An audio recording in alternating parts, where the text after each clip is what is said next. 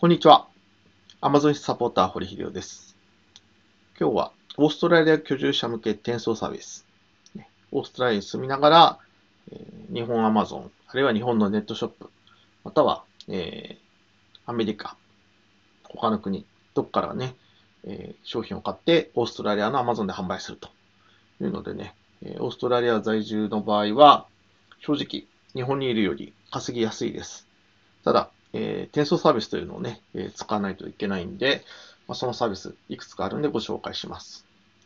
でこれ、どこがいいというかですね、しょっちゅうこの転送サービスあっちこっちと、えータイアップして、え送料無料とかね、手数料無料とかやってますんで、その仕入れるときにね、一通りチェックして、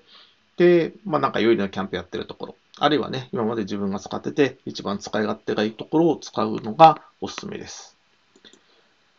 また、新たなね、サイト等出てきたら、まあ、追加してきますし、問題があるサイトは除外してきますけど、いくつかご紹介します。まず、便利エクスプレス。これ日本が経営している、日本人の方が経営している、えー転送会社で、楽天なんかとタイアップしてね、えーキャンペーンとかやってます。それからどこでも。これは日本だけでなく、えーアメリカ、あるいは他の国のものも買えると。で、まあ、英語とか日本語、中国語なんかで買えるサイトです。それから、ブイアン、バイアンドシップ。ね、バイアンドシップ。え世界を丸ごと日本へお届け。日本へお届けとなってますけどね。これ別に日本じゃなくて、えーオーストラリアでも受け取れます。で、バイ、えーこちらも、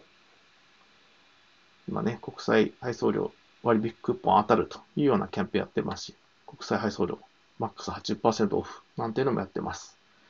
またね、えどこのサイトがいいのかなというのはね、え迷ったら、えご相談ください。使い勝手等はね、アップデートしていくんで、え相談は大歓迎です。使ってみてこうだったとかね、やっぱそういうフィードバックないとなかなか、えどのサービスが問題あるとかね、どのサービスが、え使いやすいっていうのが、え精度が高まらないんで、え気楽に相談、ご報告いただければと思います。Amazon サポーター、堀秀夫でした。